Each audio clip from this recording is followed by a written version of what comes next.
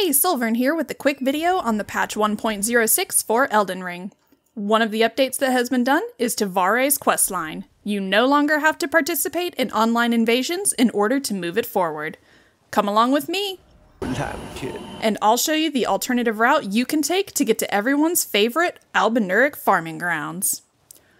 The beginning of Varré's story is the exact same. He stands outside at the first step, casually insults you, and gives you your task to get a great rune and meet the two fingers. After you beat Godrick and go to the round table, you can find him in his usual spot at the Rose Church. You agree with him that the two fingers don't seem right, and he will give you the five festering fingers. From here, you would normally have to use three of them to invade other players before he would let you continue onward. Now, you don't have to do that. There is a new NPC invader that you have to summon in order to progress without going online Magnus the Beastclaw, who is located within the Writheblood ruins within the Altus Plateau. If this is your first playthrough, you likely won't be able to survive running straight there, since the route that you have to take in order not to use the Grand Lift of Dectus is through the ruin strewn precipice. If you would like to use the lift, you need both pieces of the Dectus medallion.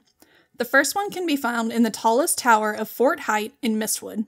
The second one is in Dragonbarrow, in the eastern tower of Fort Faroth. Once you have both pieces, make your way to the Bellum Highway in the northern section of Liurnia of the Lakes.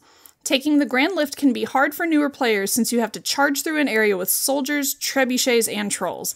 Pick your poison. Since this is my third journey, I am running straight there by way of the ruin strewn precipice. Once you get through it, take the lift up and you're in the plateau. Hit the site of grace straight along the path, then continue on your way. Hold your breath and run past Ancient Dragon Lansseax. It doesn't pursue. In the opening, cut right. There's a site of grace there if you would like, and head down the hill. Rush through the camp, and once you come out the other side, you'll be at the Altus Highway Junction. If you use the lift, you can pick up from here. Go left and follow the path all the way up to the forest spanning Great Bridge. Take the teleporter to the other end. Now you're in the area of the Windmill Village. Follow the path along to the right and wait to see the path that cuts hard right and goes underneath the bridge. Don't go all the way to the forest below. You should hit a site of grace underneath that bridge. Once you press on, you'll shortly come across the caravan.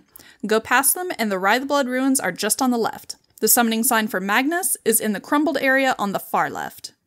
Magnus's fight itself isn't terribly difficult. He fights with the Great Star's Great Hammer and uses beast incantations. He does seem to be very quick in his castings, doing some back to back if you put some distance between you. But once you defeat him, you'll be rewarded with a rune arc, a Furlcalling Finger Remedy, the Great Star's Weapon, and a Somber Smithing Stone 6. Now you simply return to Varré and he will proceed with his quest, giving you the Lord of Blood's favor to dip in Maiden Blood. It's all very straightforward, it just takes a little bit of traveling to get there. Check out this video here if you need to see how the rest of his questline is done. If this quick rundown was helpful for you, please give the video a like, subscribe and follow along for other Elden Ring videos, and thank you for sticking around to the end, because as we all know, my lambkin, time is runes.